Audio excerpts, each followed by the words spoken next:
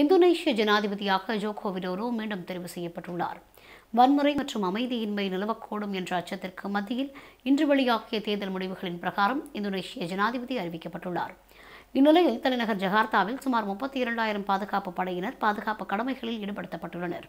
இந்தோனேஷியாவில் ஜனாதிபதி தேர்தல் பொது தேர்தல் மற்றும் உள்ளூர் தேர்தல் என்பன கடந்த மாதம் ஒரே நாளில் நடைபெற்றது. ஜனாதிபதி தேர்தலில் ஜோகோ விடோலோ மற்றும் முன்னாள் ராணுவ தளபதி ஜெனரல் பிரபோ சுபியாண்டோ ஆகியோருக்கிடையில் கடும் போட்டி நிலவியிருந்தது இந்நிலையில் தேர்தல் முடிவுகளின் அடிப்படையில் ஜோகோ விடோடோ மீண்டும் ஜனாதிபதியாக அறிவிக்கப்பட்டுள்ளார்.